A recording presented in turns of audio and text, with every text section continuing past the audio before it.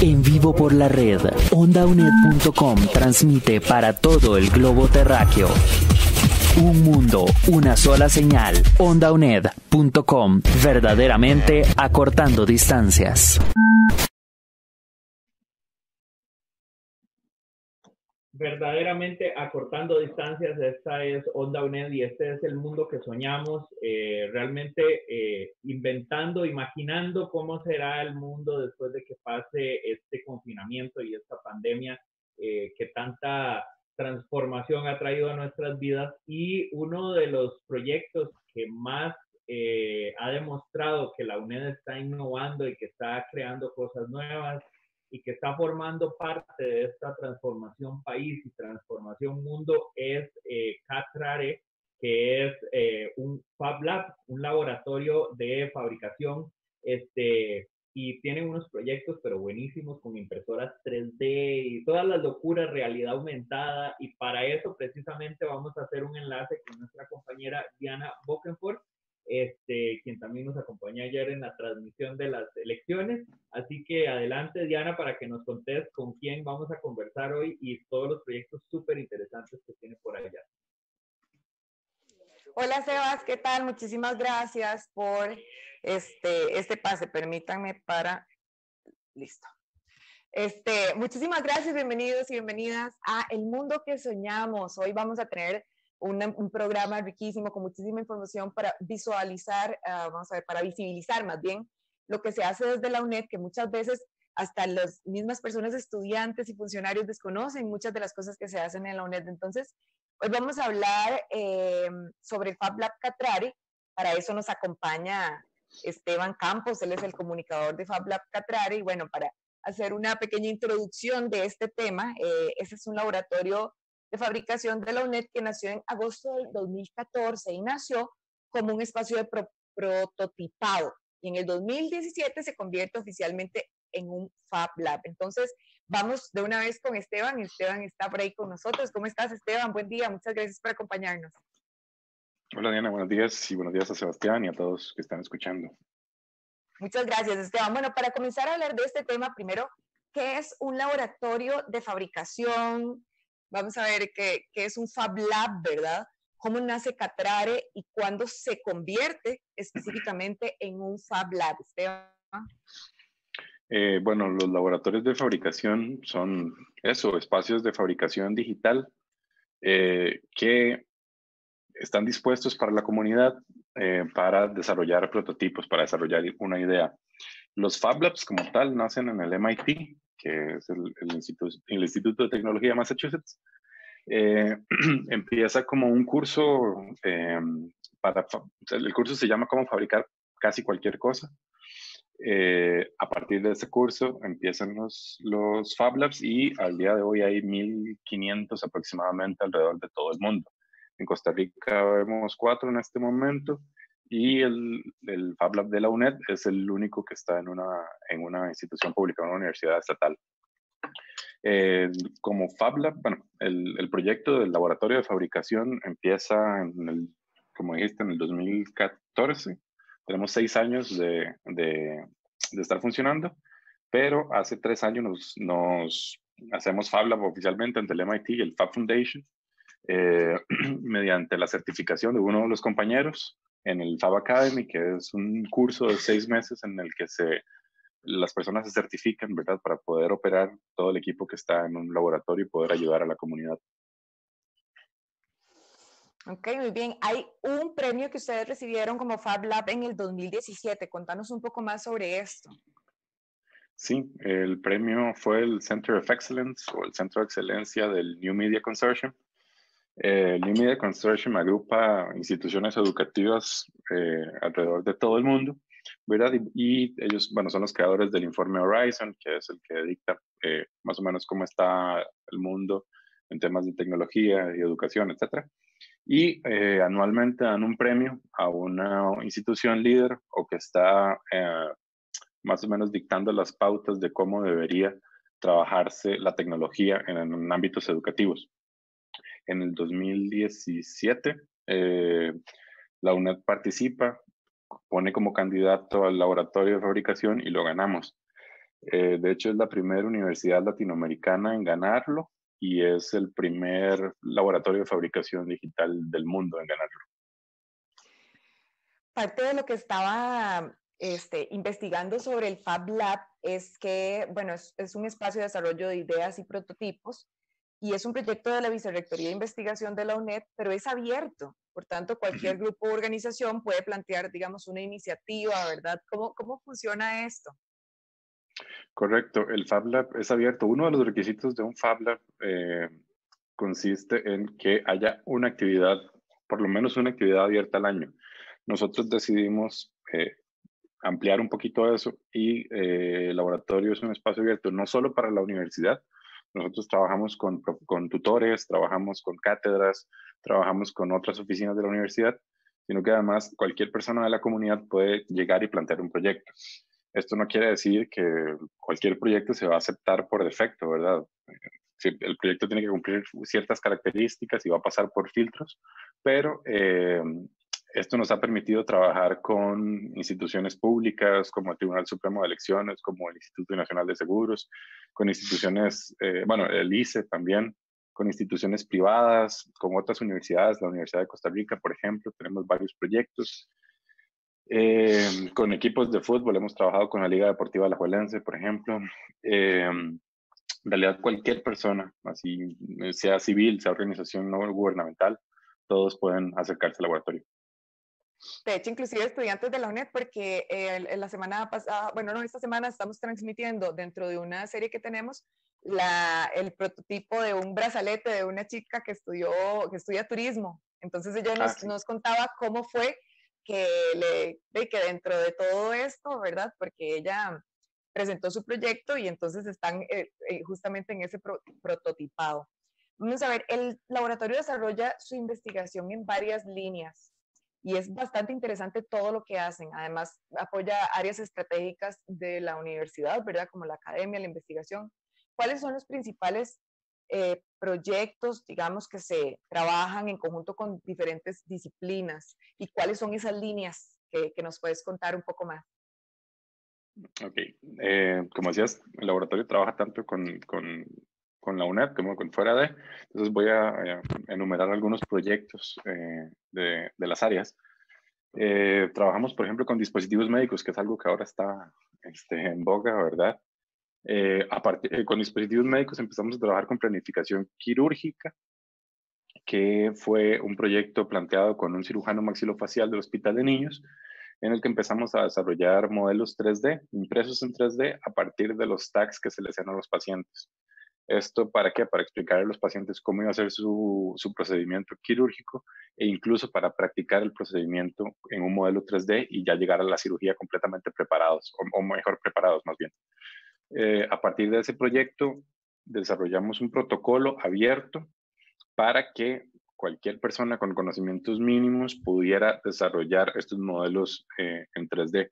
Entonces trabajamos con em, estudiantes de odontología de la UCR, ellos vinieron al laboratorio, eh, desarrollaron una serie de impresiones, aprendieron, se calibraron con, con, un gold standard y a partir de eso se generó un protocolo en el que cualquier persona puede seguirlo y eh, imprimir, eh, desarrollar estos modelos. otro dispositivo médico que se trabajó fue la famosa máscara de Jonathan McDonald, el jugador de la Liga Deportiva La Juelense, que no sé si recuerdan que se había fracturado en, finalizando el campeonato el equipo estaba desesperado porque Jonathan tenía que jugar y nos buscan en cuestión de una semana ya teníamos que haberle desarrollado una máscara. Básicamente una, el nombre es una, una órtesis que lo que hace es proteger eh, las lesiones que tenía de futuras lesiones. Eh, funcionaba básicamente como el bumper de un, de un carro.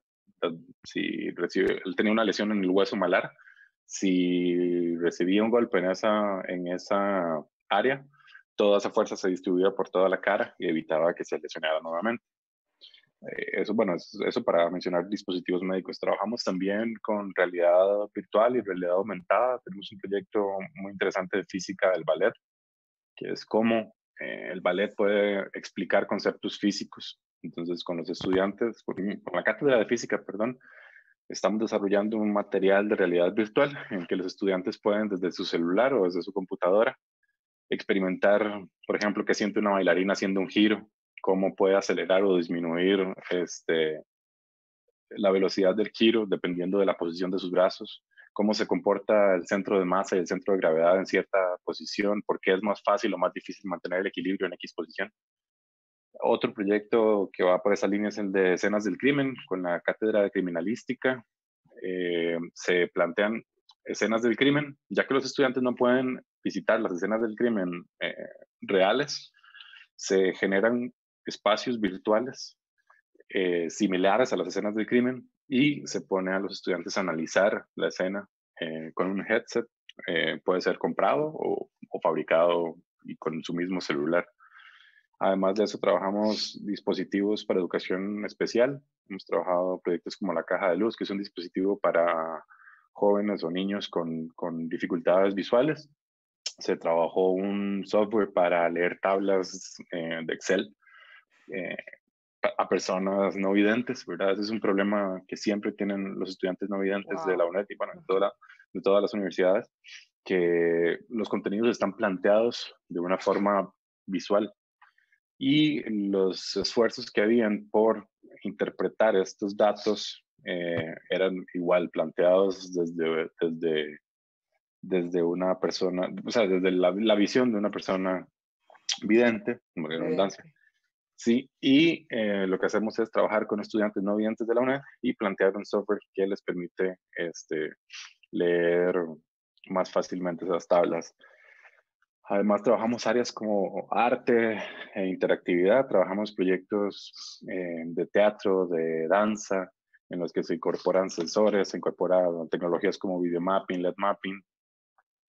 Y eh, recientemente trabajamos el año pasado un proyecto con el Tribunal Supremo de Elecciones, que fue una exposición interactiva de seis meses para niños y, jóvenes de colegio, eh, para educar en democracia, pero no una democracia electoral como como normalmente se piensa la democracia, sino pensando la democracia como lo que hacemos todos los días para mejorar nuestra comunidad, para trabajar en equipo, etc.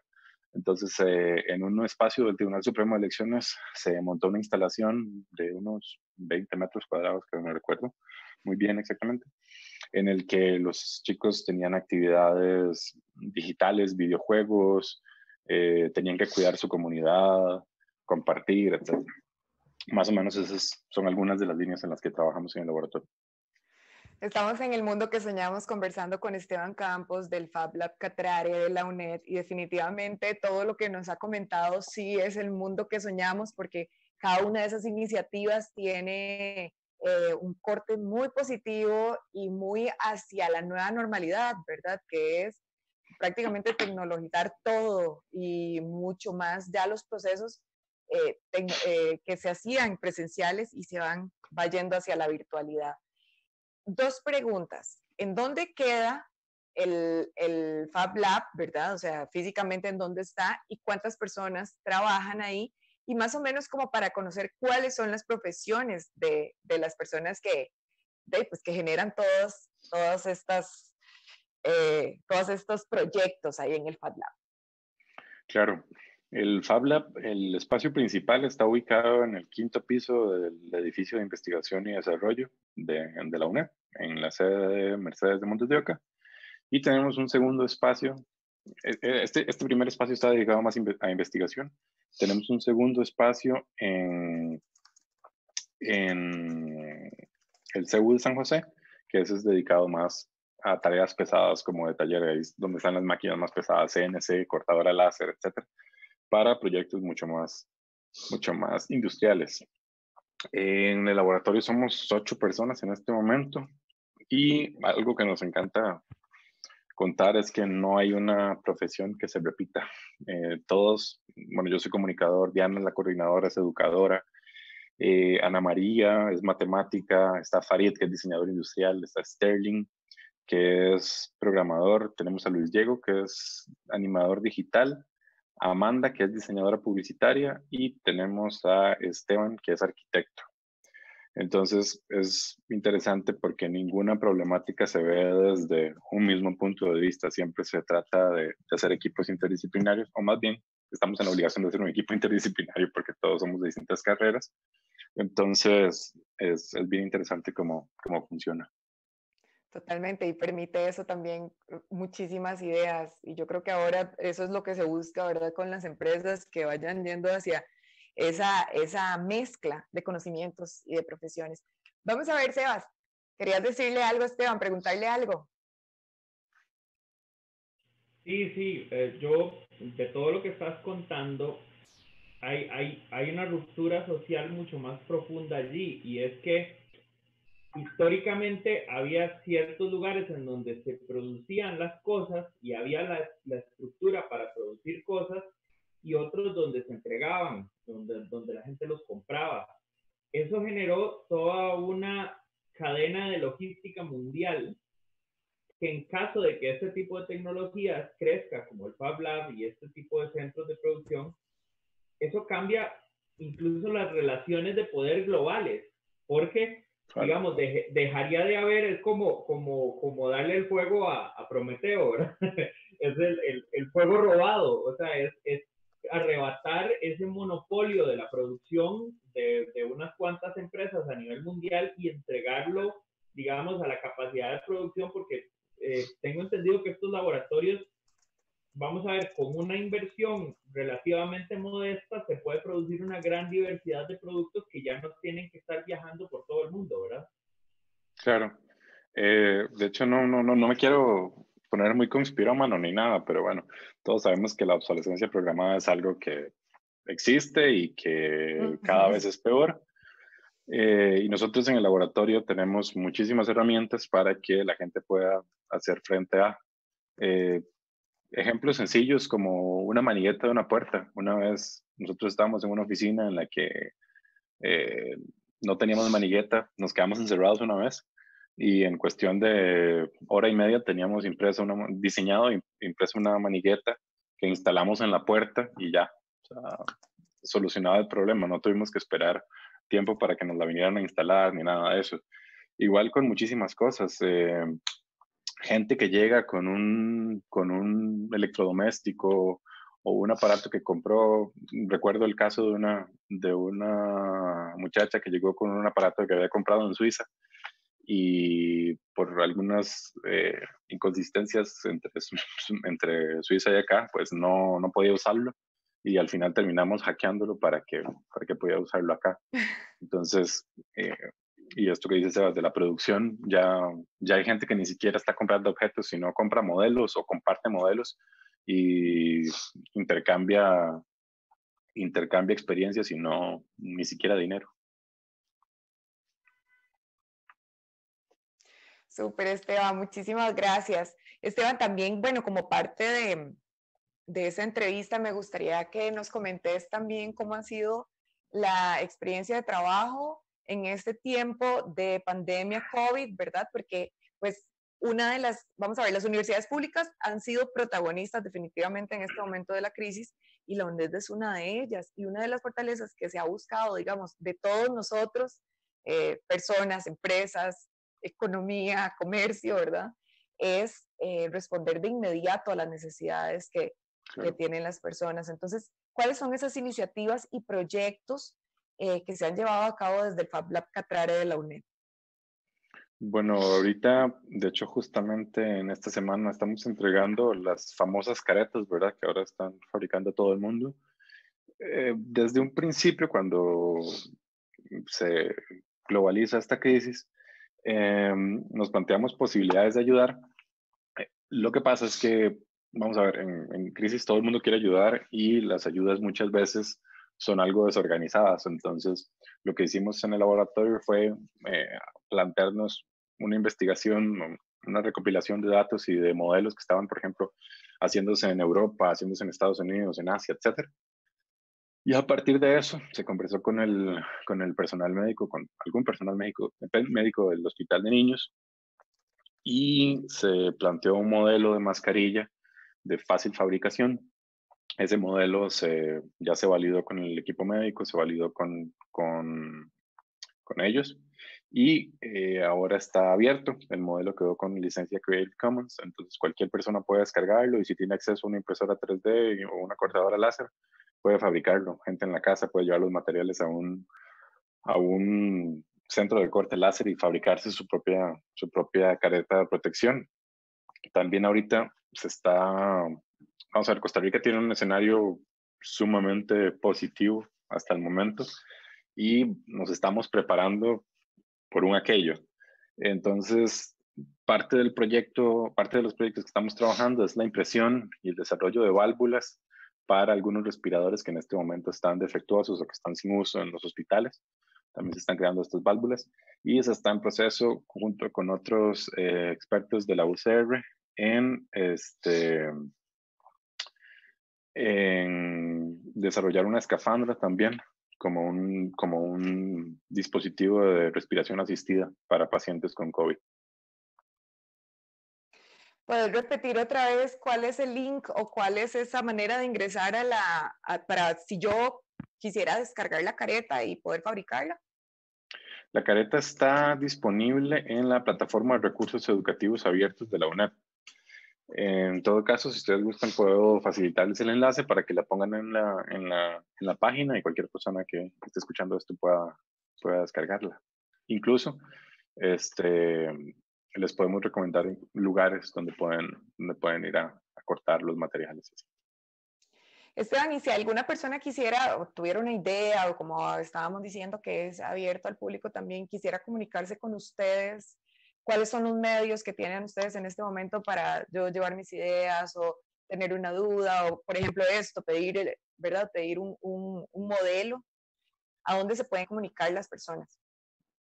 Eh, les recomendaría que se comuniquen al Facebook del Observatorio Tech Edu también el enlace se los puedo compartir para que lo tengan a la mano. Eh, ahí nos pueden escribir. En este momento, ¿verdad? por las condiciones en las que se encuentra el país, no estamos el 100% del tiempo en el laboratorio. A veces hay compañeros que van eh, por, este, por estos proyectos que estamos realizando con la caja, pero eh, les garantizamos que en algún momento se les va, se les va a dar el espacio presencial. Mientras tanto, podemos conversar virtualmente. ¿Cómo decirlo? Sí. No, no, te iba, te iba a preguntar, digamos, en este, vamos a ver, con todos estos cambios que han surgido en estos tres meses, el, la importancia de los Fab Labs se ha visibilizado mucho. O sea, eh, digamos, países como Costa Rica lograron resolver este tema de las mascarillas, por ejemplo, gracias a que existen Fab Labs como el de ustedes y a que existen ustedes. ¿qué crees que vaya a pasar con la fabricación 3D luego de la pandemia? ¿Se volverá, realmente será el, boom de la fabricación 3D, así como lo está haciendo de las plataformas de videoconferencias, o no has sentido que ha despegado como, como podría ser? Tal vez no va a despegar al, al punto de las plataformas de videoconferencias porque no todo el mundo tiene las herramientas para diseñar, por ejemplo, en 3D sí se está volviendo sumamente importante. Eh, vamos a ver, no tanto por la capacidad de fabricación, que sí es, sí es importante, pero más que todo por la fabricación, la, las facilidades que brinda la impresión 3D y la fabricación digital para el prototipado rápido. Antes para prototipar yo tenía que hacer un, un dibujo, un boceto, hacer un modelo y pasárselo a un taller de precisión para que por torno me hiciera esto ya yo perfectamente puedo tener ese modelo y fresarlo en CNC o imprimirlo en 3D en cuestión de minutos. Entonces, en este momento estamos viendo la importancia de estas tecnologías por la, por la rapidez con la que se, se requiere respuesta. La fabricación digital no es, un, no, es un, no, es, no es lo ideal para fabricación masiva. Aún así, estamos viendo que sí, sí, han habido esfuerzos, por ejemplo, los, esfuerzos colaborativos como CollabCR, que en este momento están haciendo retos para impresión de caretas. Entonces la gente que tiene impresoras 3D está poniendo sus equipos en la casa para, eh, en función de este objetivo. Eh, es, esos son, son muestras de que sí, sí, sí nos permite hacer eso, pero yo rescataría más, más que la capacidad de fabricar, de fabricar en masa, la capacidad de tener dispositivos y prototipos funcionales en poco tiempo. pero digamos, imagino, por ejemplo, mercados muy específicos. Por ejemplo, eh, qué sé yo, em, un taller automotriz, por ejemplo. Eh, uno se imagina todavía comprando los repuestos que hay que traerlos desde Japón para montarlo en un barco, para tal vez un carro que no es muy común en Costa Rica. Por ejemplo, eh, mi, mi, hermana tiene un, este, ¿qué se llama este? ¿Qué se llama? Nissan Micra. De ese hay como pocos carros de ese tipo en el país, entonces conseguir repuestos es dificilísimo. Entonces, digamos, imaginarse que ya esa lógica de traer un repuesto muy específico que se dañó en el carro desde Japón, eh, ya no hay que hacerlo y que ya ahora eh, de, pues, los, rápidamente se transformen talleres hacia este tipo de modelos. O sea, estamos cerca de ese tipo de, de transformaciones sociales y, y, políticas. Pues ya lo estamos viviendo hasta cierto punto, ¿verdad? Y en la medida que la, que la tecnología existente en este momento lo permite hay impresoras 3D que trabajan como el tal, lo que pasa es que son sumamente caras y muy pocas personas y muy, muy pocas empresas eh, tienen acceso. Entonces, si yo necesito el repuesto de un motor, probablemente no vaya a tener esa opción acá. Pero, eh, no sé, se me ocurre el caso de, de un amigo que tuvo un problema con la tapa del, del, del carro y eh, la pieza que sostenía una parte era muy sencilla, era de plástico, etcétera, pero no la conseguían porque el carro de él ya es viejito. Entonces eh, hizo la consulta. Resulta que podía mandarlo a traer a través de AliExpress o Alibaba, pero la orden mínima era de mil piezas. Entonces él decía, ¿qué hago yo con mil piezas? Simplemente lo que hizo fue que agarró la pieza que se le había quebrado, la pegó, la escaneó en 3D, la imprimió y ya tiene el modelo y cada vez que se le quiere, puede, que el plástico en el que en el que él puede imprimir sea más, sea menos duradero que el plástico original de la pieza, pero ya tiene un modelo y tiene una impresora que, en la que puede fabricar 20 veces la misma pieza si quiere. Entonces, no es una, no es una tecnología infalible o capaz de hacer cualquier cosa, por ejemplo, en una industria como la automotriz, pero de que ya empieza a darnos soluciones, ya, ya, ya tenemos soluciones. Sí, porque esto eh, incluso digamos, la concentración de estas piezas en, pocas manos o en pocas empresas eh, había generado eh, incluso especulación de precios, o sea, hay, hay toda una transformación, o sea, si uno ve el impacto eh, político y social que tiene esto, es realmente gigante porque hay países que se han sostenido en función de la propiedad intelectual de producción de piezas y economías que se sostienen en función de esto. Este cambio social y esta democratización de la posibilidad de, fabricar cosas, eh, sé, qué pasará con China, ¿Qué, como gran productor mundial, qué pasará, o sea, puede cambiar la lógica de cómo funciona la globalización y, la producción mundial. Claro, para, para ponerte un ejemplo, eh, nosotros el proyecto de planificación quirúrgica que trabajamos surge a partir de la necesidad de este, este médico que llega y nos cuenta que una mandíbula, por ejemplo, eh, en, impresa en 3D para hacer planificación quirúrgica, ahí le puede costar hasta 300 dólares porque tiene que enviar el, el TAC a Estados Unidos, en Estados Unidos lo generan, eh, lo imprimen y se lo envían. 300 dólares por una pieza, para una cirugía, ¿verdad? Una pieza de un solo uso. Nosotros con impresoras de 500 dólares, que son impresoras muy baratas, ¿verdad? Para el mercado, y con un material que vale creo que es como 30 dólares el kilogramo, podemos lograr una mandíbula con una resolución muy eh, similar por 12 mil colones, 15 mil colones. Entonces, pasar de 300 dólares a 30 dólares menos, 27 dólares, es, un, es un, una diferencia bastante grande. Y esto y pues, permite que cualquier persona con mínimo acceso pueda este, tener estos resultados. Entonces, sí, sí, sí es, no, no es algo que va a acabar con los mercados como los conocemos, porque no, los mercados tienen muchísima más fuerza, pero sí es algo que viene como a sacudir las bases y a, y a plantear otros escenarios posibles de, de fabricación. Eh, bueno, de verdad, de una, una, toda una transformación y, y, sobre la que veremos eh, muchos avances en estos días. Ya nos gana el tiempo, pero bueno, Diana tiene una despedida para nosotros también.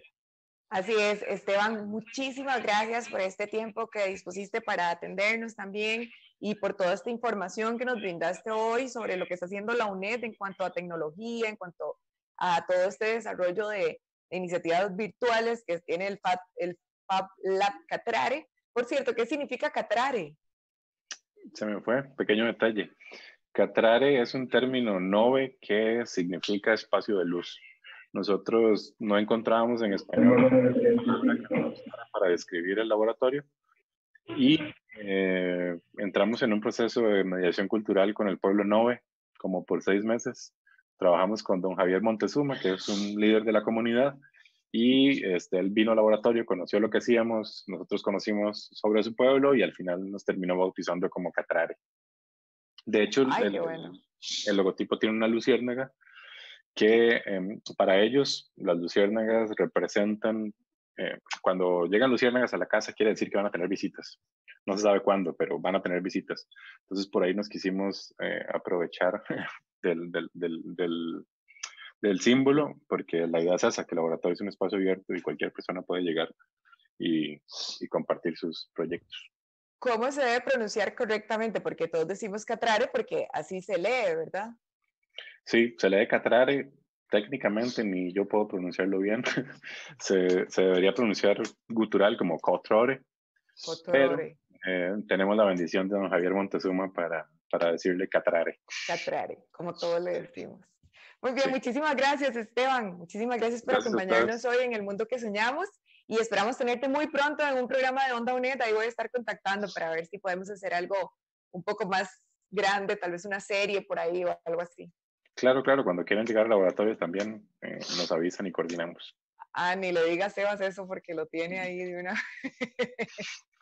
muchísimas gracias. y muchísimas gracias a todas las personas que se conectaron a esta transmisión de El Mundo que Soñamos. Para mañana tenemos mucha más información, mucho más de este mundo que estamos construyendo, esta nueva normalidad, este, antes, durante y después del de la COVID-19. Muchísimas gracias, Sebas. Nos encontramos mañana aquí en El Mundo que Soñamos por Onda UNED vivo por la red. OndaUNED.com transmite para todo el globo terráqueo. Un mundo, una sola señal. OndaUNED.com, verdaderamente acortando distancias.